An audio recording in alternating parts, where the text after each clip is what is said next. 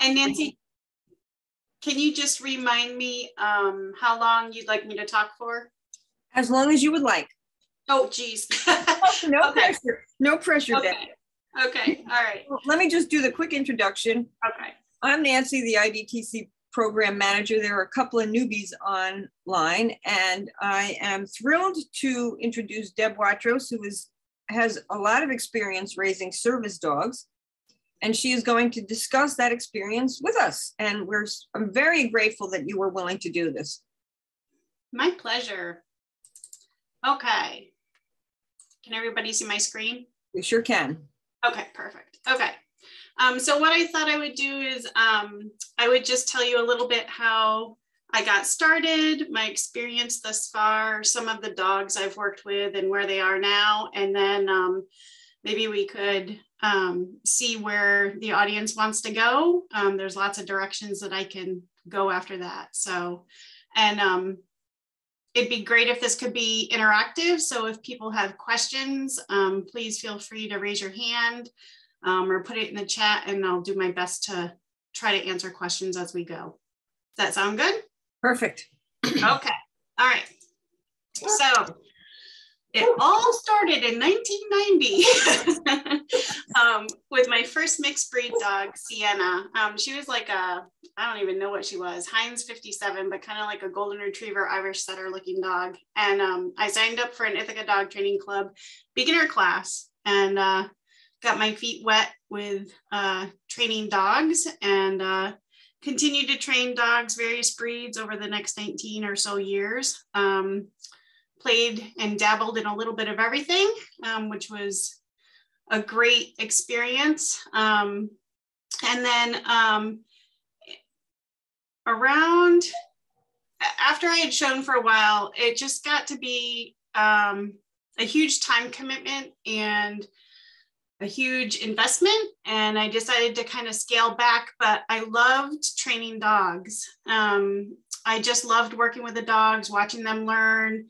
Um, and so I started to look around and, and I also always wanted to um, help in a service dog organization. So I started looking around um, started looking on the web and there's lots of i don't know if you guys have ever gone to look at different service organizations but there's a load of them out there um, and so i just kind of started looking around and i found um, i wanted to raise a golden retriever um, as a service dog and so when i was looking at the organizations there was two different ones that i was looking at one was freedom guide dogs and one was uh, guiding eyes for the blind and the reason why I kind of steered towards Guiding Eyes for the Blind is because they actually had a region uh, club here. They had um, puppies in the region, they had weekly classes. It sounded like they had a lot of support. Um, and so I started volunteering, going to classes and helping out at classes and just kind of getting a feel for it. And then I took my, in order to get um, in order to raise a puppy for Guiding Eyes for the Blind, you have to take a pre-puppy placement class, which is um, at that time, it was two full days. Um, and it was all um, what to expect when you get your puppy. They basically tried to talk me out of getting a puppy um, because it is such a huge commitment. It's it's really it kind of kind of takes over your life. Um, and so I started that process in 2009, and um, I was matched with my first dog in 2010. So since 2010, I've raised five dogs for Guiding Eyes for the Blind. Um, three of them have been released two due to, due to medical um, issues and one uh, behavioral. And then um, I'm also currently raising one dog, a collie named Kismet for Blue Path, um, which is a different organization. Um, I'm also, geez, how long have I been doing this? Probably, probably the last four years. I've been volunteering on the leadership team, which means either teaching classes, organizing um, fundraising, uh, PR events, um, helping with the puppies, help answer questions. And then um, I became one of the region coordinators about three years ago. Um, and I co-lead that with um, another member. So yeah, so um, basically I help organize the, the region. So let me tell you a little bit about the dogs. So Karen was the first one. Um, when the puppies are named, um, they do it by the alphabet. So we don't have any say in what the puppy's name is. It comes named. And so um, Karen was my first pup. She was a golden retriever and um, she's a really sweet pup and uh, she loved blowing everything blowing. So leaves, snow, um, loved water, loved her ball. Um, and so uh, I had her in program for probably a year and a half, and she was starting to have medical issues. Um, she had a heart murmur and she was uh, intermittently lame in the rear end. And so they decided to release her. The other nice thing about Guiding Eyes for the Blind, um, up until last year or the year before, the raiser always got first priority adoption. Um, I think the rules have kind of changed now, um, but uh, so obviously, you know, after having a dog for 16, 18 months, 20 months, uh, you get pretty bonded. And um, so we decided to adopt her and she just became a great house pet. She loved nose work um, and she did some therapy work. So uh, that's Miss Karen. Next came Fennel. Um, Fennel actually came to me. I wasn't going to raise again for a little bit, um, but she sometimes what happens is uh, raiser will commit to raising a dog and find out that it's too much work. Um, and so Miss Fennel was uh, given to, I believe she was either a high school or a college student. And after about a month and a half or two months, um, she realized that a full school schedule and a very high drive active puppy do not match, do not mix very well. Um, so she needed to have a finishing raiser and we volunteered to take her. Um, so uh, Miss Fennel was definitely high drive, high prey. Um, she also liked blowing leaves, um, so much so that the day before we took her in for her in for training test at age I think she was 14 months when we took her back. Um, she went to chase a leaf across the road and dragged her handler into the road. um, so she made it into training and she went through about five months um, and she was actually at her final blind um, test. And uh, they just decided that her prey drive was too much um, to safely guide a person. So uh, she did a career change and she became a bomb detection uh, dog for uh, the Michael Stapleton Agency. And um, she had a very, uh, um, a very, uh, what's the word I'm calling that I'm looking for? A very good career, um, successful career. Um, and she led very, a number of top secret um, I'm losing my words, top secret missions overseas. Um, the problem, or not the problem, but one of the things that I, I didn't like so much is that once they leave Guiding Eyes and they go to another agency, they're not to committed to staying in touch with the previous raiser. And so we lost touch on Fennel um, when she went to MSA. And so I didn't hear from her for about her in, in a very long time. And uh, I don't know, it must have been like mid career.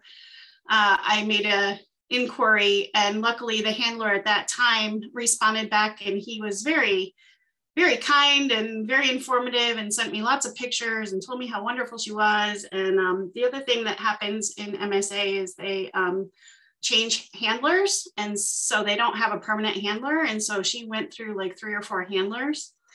Um, and I just recently found out that she retired at the age of 10 um, and, is, and is now living with her last handler. And I and the report is that she's healthy and happy. So um, I just have to trust that that is true. Um, so that's Miss Fennel. The next dog that we got was uh, Feather she was a golden lab mix. She was actually Karen's half sister, um, and that's why I got her um, because I wanted another dog from that from that same lineage. Um, Feather almost was not in program. Um, at six weeks of age, she actually was attacking her litter mates, um, and so they kept her and watched her and they kept her for like another month. And uh, away from the other dogs she showed a lot of promise. And so they reached out to me knowing that i was an experienced handler and asked if i would give her a try. And i said yes. And um, so what we learned is uh, feather can resource guard, resource guard around other animals. And uh, when the pressure of work increases, that tendency increases. And so um, she did not go into training and she was released into our care. So, um, and now she's happy being a sniffing dog. She loves her nose work. Fourth dog is Kobe. Kobe gets the most slides. so Kobe, we finally had a success as a, as a guide dog. Um, this picture over here on the left-hand side of him laying upside down in his crate, this was Kobe for a year and a half. I could barely get him to walk. He didn't want to do anything. and I didn't think he was going to make it. Nobody thought he was going to make it. And um, he went into training and he actually became the second uh, running dog. They started a running dog program um, in conjunction. And so these dogs actually have to navigate, have to um, direct their guide, their handler um, while running. So not only do they have to navigate everything like a normal guide dog would, but they also have to do it at high speed. Um, and so um, it was a, a, big shock to know that he had that in him and actually enjoys running. And so um, this slide kind of shows all of these. I've tried to put in some of the things that we do with it, with them as we're puppy raising. So one is they have to ignore treats, drop treats. Um, and so we do the, the treat game. Um, we also get them dressed up. This picture is kind of cool. Um, you'll see that the it's kind of small, but the um, person who is handling Kobe is blindfolded. And so a lot of our classes will have the handlers um, wear a mask um, so that they can see what it feels like to be blind or not be able to see clearly. And then we'll have them do like recalls, off lead recalls. Um, we'll do dress the dog while you're blind. We'll have meals together. Um, and so it really helps the raisers kind of understand what the graduate is going to go through. So those are some of the experiences. So Kobe did make it in for training and um, it was kind of fun because somebody actually was able to get some shots of him training at the guide school. Um, so one of the first things that they teach the dogs is to target the curb. And so every time they go to the curb, they have to stop with their front feet on the curb um, and wait for the signal to go ahead. This gives the graduate an opportunity to place their feet and know where they're stepping up or stepping down. Um, and then this uh, picture over here in the lower right hand corner, um, you'll see that he has a half harness on. Um, so he has the body harness, but he has a string on his back, and that's because he was a little sensitive to the harness. And so they work with each dog individually um, until they're comfortable with the harness and the position, and they can actually um, change out the harness depending on uh, what the dog needs. Um, at the kennel, where they're boarded while they're in training, they have all sorts of agility equipment, dog pools, everything, toys, bones, anything that they want. Um, and the dogs get let out for pup play twice a day. Um, inside their kennel, they get those tent beds, and they also have all sorts of toys that are either shoved in the um, in the kennel bars or on strings. And this way, um, the dogs can't um, resource guard over them, like they can't take them and hide them. Um, they're there for all the dogs to work. Um, and the top picture here is um, the graduating class for Kobe. Um, and Kobe's here in the middle with his handler, Hannah. Um, and it's amazing that all of these dogs during graduation, I mean, sometimes there's some antics, but for the most part, the dogs can all lay next to each other quietly for the duration of the graduation. Um, and then this is Hannah and Kobe. So Hannah is legally deaf and blind. Um, she is also a triathlete and she runs three um, 5Ks with Kobe. Um, she doesn't run the marathons with Kobe, um, but she does run uh, the 5Ks, and she also um, they allowed her um, in her triathlon to swim with him. Um, and so that's kind of cool. So he has a very, very active life. They go hiking, biking, running. I mean, she goes all over the place. She trained uh, for the Paralympics with him um, there with her. He travels all over the place. He's got the life of Riley. So um, pretty cool. And I love the shot with him coming near, near the camera. Um, so that was Kobe. Um, and also, um, I'm very excited. We actually get to go pick up Kobe this Friday. Um, his handler is going to Sweden for the month, and unfortunately, she can't take him with him with her. Um, so he's going to come home for the month. So we're very excited to see him. Uh, number five is Orvis. Um, Orvis is actually half brothers with Kobe. Um, and we enjoyed Kobe so much, we decided to get another pup from the same mom. And Kobe was in training for about probably about the same time, about a year and a little bit, year and a half maybe.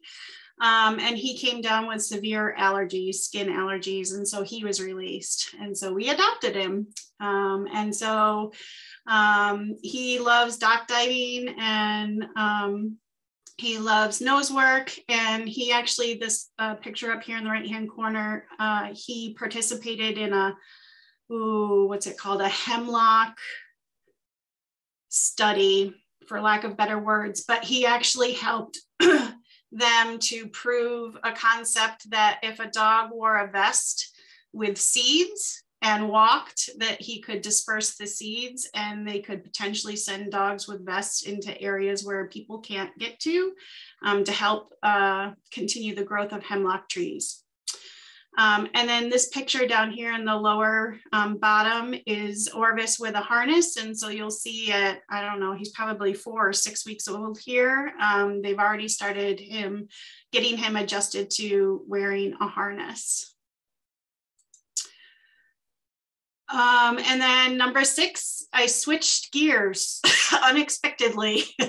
so Guiding Eyes um, used to, one of the career change is uh, career change choices for dogs through Guiding Eyes was um, a program called uh, Heeling Autism.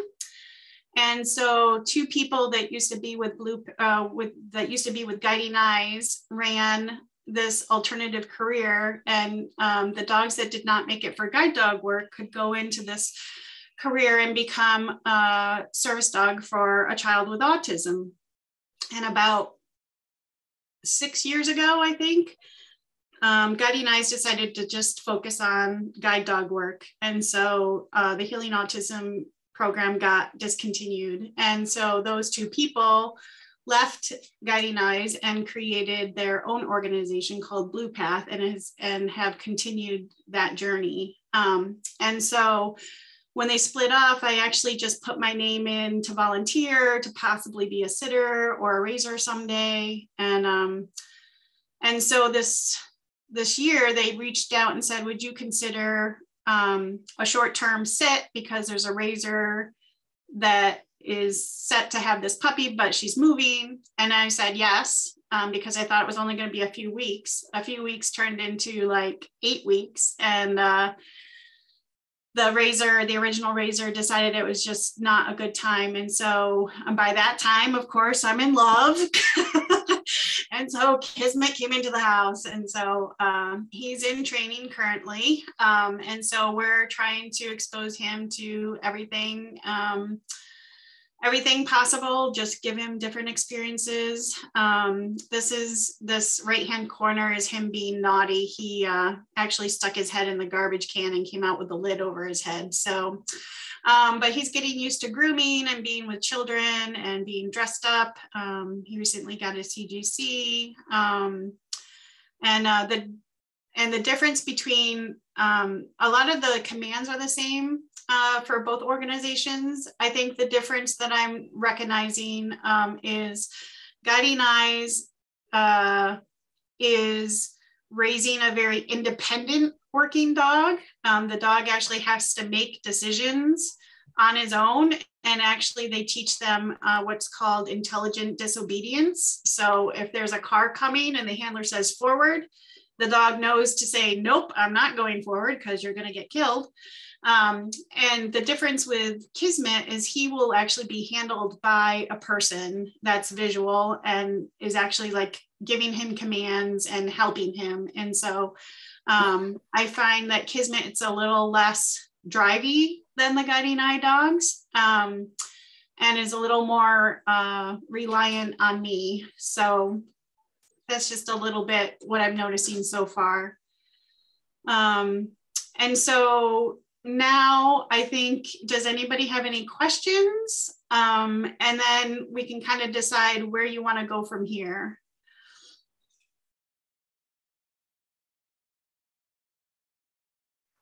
Kathy? How many dogs do you have? Uh, I have four living with me right now, including Kismet. So I have three of my own. That's kind of my um, we've had more, uh, but that's that's that's the comfortable limit. and and Deb, correct me if I'm wrong. Three of those are either service dogs that, from one reason or other, left the program, and Kismet.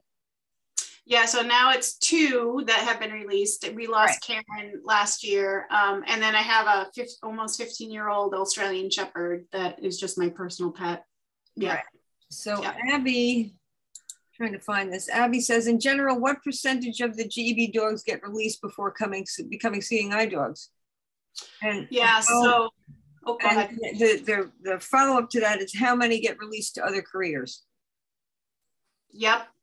Uh, so I have a slide, but I'm going to try to go by memory. Um, so what I remember is 50% of the dogs that are placed with raisers go into in for training and half of those make it to be a guide dog. So i would say quarter mm. right? That i think that calculates out to a quarter of the dogs raised um, get to make it to guide dog work. Um, and I would say, I'm not sure exactly the percentage. We'll see if it says in one of the slides um, of how many go into alternate careers, but I feel like it's more and more.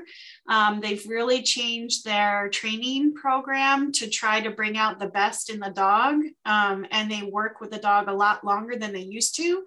They used to have a very strict um, timeline. And if they weren't in final blindfold by four months of age, they released them um, and now they're working with dogs up to six months um, and just giving them the extra time that they need. Um, and I actually, I think one thing that's probably helped us uh, with COVID is that um, due to COVID, we actually had to stop bringing dogs in, obviously. And so dogs are older now when they go in. They're almost two years old, actually, when they go in for in for training. And so they're more mature and they're more ready to take on the work. Um, so I think we're actually seeing higher success rates now, um, which is kind of interesting. So did that answer the question? Yes, it did. And okay. that, that actually is fascinating to me because a four month old, what, you know, a four month old puppy is still very much a puppy, right? Whereas a two year old dog, yes, yeah, is stable and thoughtful well even yeah and even the difference between a 14 month old and yes. a two year old yes. Yeah. yeah that's an enormous difference. So that's interesting. It's also interesting that they've morphed their training to be more flexible and potentially place dogs with other programs rather than yeah. just release them for i assume to be somebody's pet yeah, and they actually have multiple um, alternative careers now um, for yeah. just the labs. Um, the German Shepherds, so we have a very, well, it's getting more. We probably have, I would say 85% labs and 15% German Shepherds. And unfortunately, um, there's no other alternative career for German Shepherds. So if they don't make it as guide dogs, they all get released into adoption. But for the labs, um, they can go into MSA, so Michael Stapleton Agency. They can go into Connecticut State Police.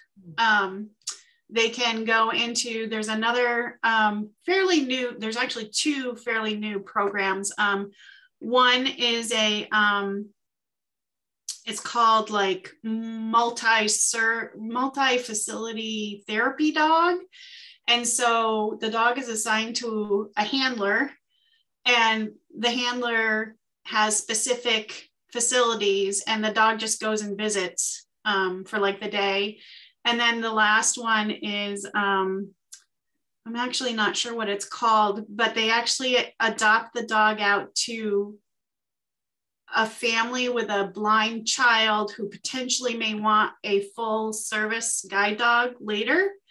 And so it's just to help them get used to having a dog around, learning how to take care of them. But it's not, the dog isn't placed in that family to be a guide dog yet. It's just to get used to having a dog around. So Interesting. Mark? Yeah, um, I'm interested in the autism, the Blue Path uh, work. I've heard that some autism dogs are taught to serve as anchors if they're working with a child who bolts and the dog just yes sits down or lies down so the kid can't yeah so off. there's yeah so there's actually let me see um i'll skip around oops there we go uh, this one so yeah so the interesting thing about blue path that I, I learned. Um, so one, they teach the dog to anchor. So you'll see that they use a slightly different harness. It's a soft harness. The child is tethered to the dog and the um, oh. and the owner, the the parent is holding the leash and controlling the dog. And you'll see that the the um, child can actually hold the handle. So the child becomes responsible for the dog, but is totally safe between being anchored and having the parent handle the dog. And so you are correct. Um, children with autism tend to bolt. And so the dogs are slowly taught that when there's pressure applied, the dog learns to lay down or sit in place and will not move um, and will keep that child from bolting. The other thing that they teach the dogs is uh, a term called visit and they teach the dog to um, place their chin on the child's lap um, as a calming mechanism. Um, so those are the two big things that they actually teach the dog, amongst other things, depending depending on what the needs are for the family. Hmm. Kathy? Yeah, I was just wondering why um, there isn't placement, other placement for German Shepherds. I mean, is there a reason? I'm not sure of the exact reason. Um, I'm assuming, I don't know. I don't know. Yeah, I'm not and sure. Then, and then they only are doing labs or um, German Shepherds. They're not using Goldens or other dogs. No, my two dogs were the last golden litters. Um, they just decided that the the Goldens were too soft and they bonded too closely to one person. It would not adapt to another handler well. And so they didn't go through training very well. I think there's also, remember what I said about the um, intelligent uh, disobedience and the independence factor. I think the Goldens kind of look for permission a lot, where the labs do it and then ask for forgiveness if it's wrong. That's kind of my my comparison between the two breeds. um, but the Goldens uh, work really well for the blue path. Okay, yeah, yeah, that makes sense. Yeah. Yeah. Thank you. Yeah. Any other questions or anything else that people want to hear about? I guess I could talk a little bit about volunteering. If you would. Okay. Um, so let me just go up. Doo, doo, doo. So I'm going to talk about guiding eyes first. Um, so guiding eyes, um, so we're the guiding eyes for the Finger Lake region. Um, this is kind of how we're made up. We have one instructor or manager, and then the two region coordinators, which I'm one of them. And then we have 10 leadership uh, team members who help, like I said, organize, run classes, puppy health. Um, we do one-on-ones, uh, one-on-one training with puppies. We do class training. Uh, we service the Cortland, Dryden, Ithaca, Binghamton, Elmira, like anywhere in that area. Um, right now we have 30 active raisers and about 90 plus puppy sitters and other volunteers. And our region is kind of unique in that we have campus clubs, so they're like satellites. And so we have Guiding Eyes at Ithaca, Guiding Eyes at Cornell, and Guiding Eyes at the Vet College. And so 90 plus of those puppy sitters are all students. Um, and I would say three quarters of our raisers are students. And I don't know how they manage a college curriculum and raising a puppy, but they do. Um, and we currently have about 18 puppies in training. Um, uh, we're a little low right now. We usually have 24 to 30. So um, that's a little bit about our region. And then, so we already kind of talked about the alternative career paths for the dogs. Um, so volunteer opportunities for Guiding Eyes. Um, you can certainly become a puppy sitter. So a puppy sitter is somebody who goes through the same training as a raiser, but um, it's kind of like the grandma or the aunt. So you can take the puppy whenever you want for however you want, and then you can give it back to the raiser.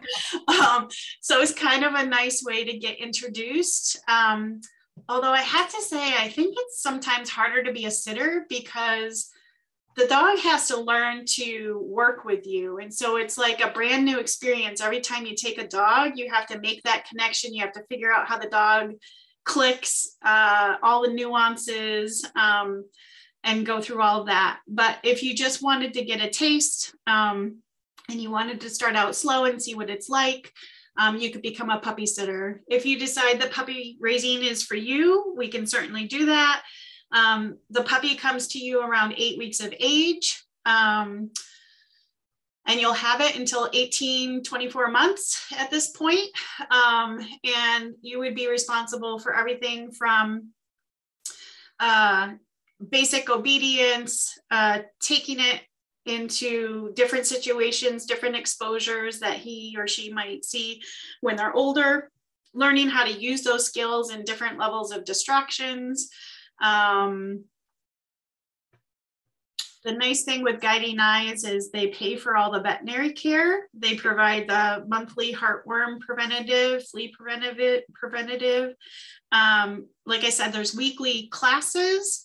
There's one-on-one. They have experts that you can contact if you have questions. There's tons of support. Um, there's the leadership team. So if you weren't up to having a puppy um, either sitting or raising. If you wanted to volunteer in a different way, like help with organizing PR events, uh, you could help uh, teach classes. Um, you could be an assistant to classes. Uh, there's lots of different volunteer uh, web page. We could really use a um, social media expert. Um, we're really lacking in that area for Finger Lakes region right now. Um, so there's that.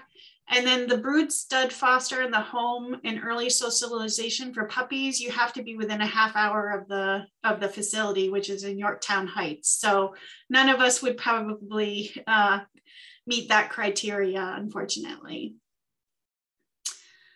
Um, so that's guiding eyes. Um, for Blue Path, um, basically the same volunteer opportunities. You could raise a puppy, you could be a puppy sitter. Um, and then everything with the NASTRC, again, you have to be within a half hour of the um, facility, which is uh, near Yorktown. It's actually in Hopewell Junction, I think it's called. Um, but you could also be a driver, um, which means picking up puppies from one facility and taking them to their puppy raisers or to back to um, the Blue Path uh, facility. So um, Blue Path also offers free veterinary care um, and the uh, monthly flea and heartworm. Um, the one thing different about Blue Path, um, they don't, because they're such a small organization um, and their puppies are spread all over the place, there's no local classes. And so everything is really done on my own.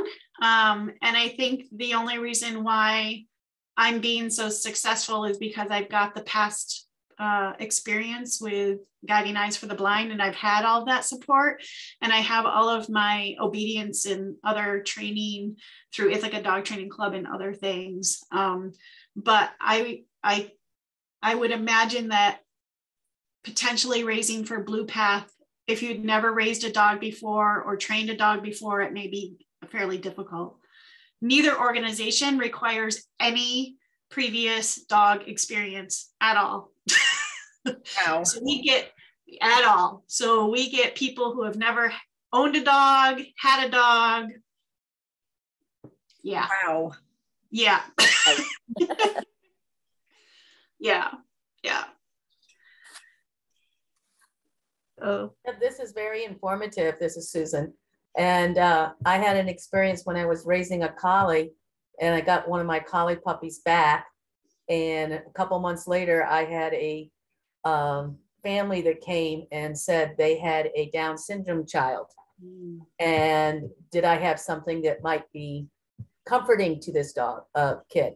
And I said, well, I'll let you take this puppy.